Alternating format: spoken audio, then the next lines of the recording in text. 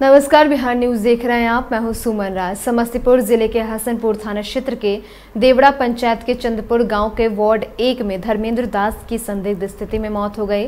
मृतक धर्मेंद्र के परिजनों ने बताया कि जब शुक्रवार की सुबह 10 बजे धर्मेंद्र को खाना देने के लिए गए तो देखा कि युवक के सर में गंभीर जख्म था, जिससे ब्लड भी आ रहा था और युवक मृत अवस्था में था।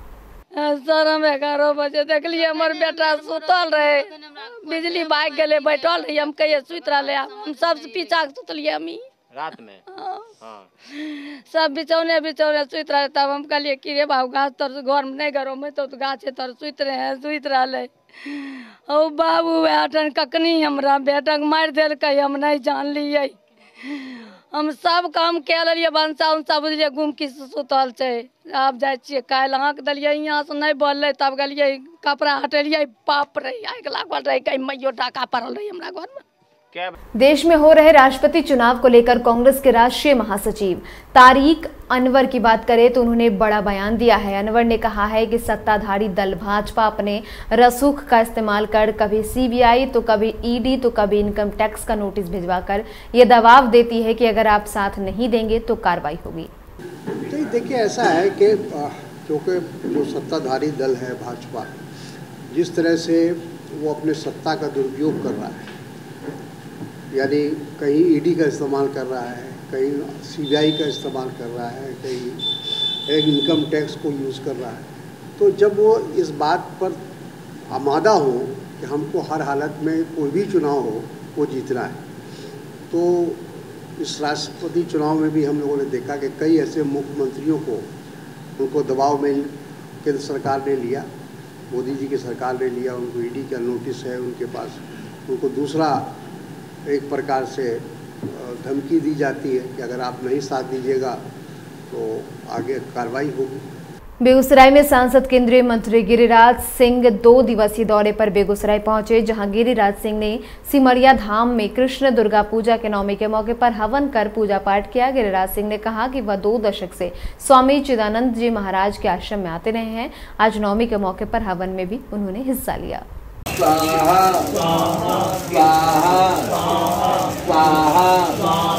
मरिया धाम में बाबा चिदात्मन जी महाराज, लगभग लगता है कि एक दशक, दो दशक से ऊपर से हम इनके चरणों में आते हैं। इन्हें गंगा पुत्र के नाम से हम लोग इनको मानते हैं।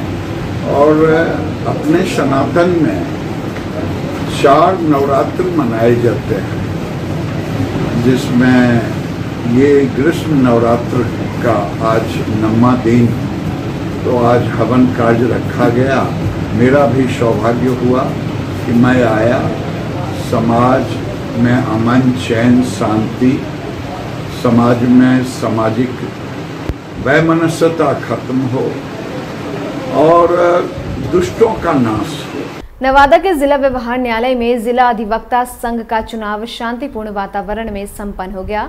सभी अधिवक्ताओं ने बारी बारी से अपने अपने मतों का प्रयोग किया। आपको बता दें कि जिला व्यवहार न्यायालय में अध्यक्ष पद के लिए पाँच, महासचिव पद के लिए छह, संयुक्त सचिव पद के लिए पाँच वोट डाले गए। वहीं इस चुनाव में वोटर लिस्ट के अनुसार कुल 560 मतदाता का नाम दर्ज है।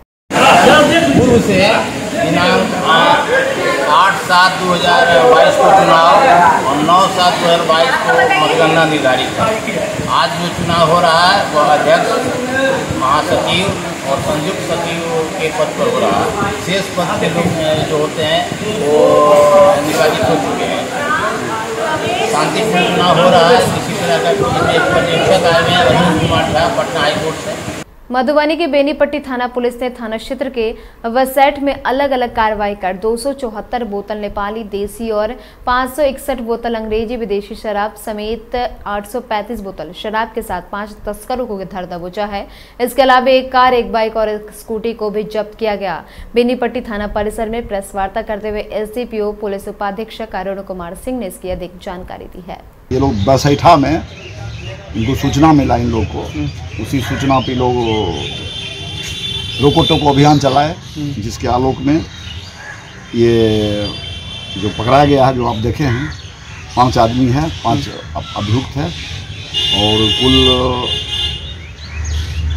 बेरासी बेरासी दो सौ लीटर और और 140 540 लीटर कुल शराब बरामद हुआ है। दो एक मोटरसाइकिल बरामद हुआ है एक चारपहिया बरामद हुआ है। जो और एक स्कूटी बरामद जो आप देख रहे हैं, लगा हुआ है। यह लगातार छापामारी अभियान है। और देख रहे हैं, छापामारी अभियान लगातार उपलब्धि है। हम लोग इसका जब तक समाप्त होगा, तब तक लगातार छापामारी चलती है लखीसराय में नगर थाना पुलिस ने क्यूल नदी से अज्ञात महिला का शव शत विशत हालत में बरामद किया है। हालाँकि शव की पहचान अब तक नहीं हो सकी है। नगर थाना पुलिस ने शव को कब्जे में लेकर पोस्टमार्टम के लिए सदर अस्पताल भेजा है और शव के शिनाख्त में जुट गए हैं। बताया गया कि शव दो तीन दिन पहले का है। पूर्वी चंपारण के सुगौली प्रखंड की ग्राम पंचायत दक्षिणी सुगांव डीह बस्ती में आज़ादी के अमृत महोत्सव अंतर्गत अन्नदाता देवो भवा, किसान भागीदारी को लेकर सहकारिता विभाग के द्वारा किसान चौपाल का आयोजन किया गया।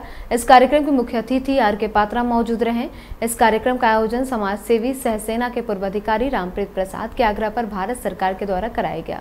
और आज वर्तमान भारत सरकार उसको और प्रमुखता देते हुए अभी एक वर्ष पहले पिछले साल जुलाई में कृषि मंत्रालय से अलग करके सहकारिता मंत्रालय का गठन देश स्तर पर इसमें सबसे ज़्यादा बल जो है, वो पैक्स की कार्य प्रणाली उसके सुदृढ़ीकरण और उसके कार्यों में विविधता लाने पर ही बात की गई है।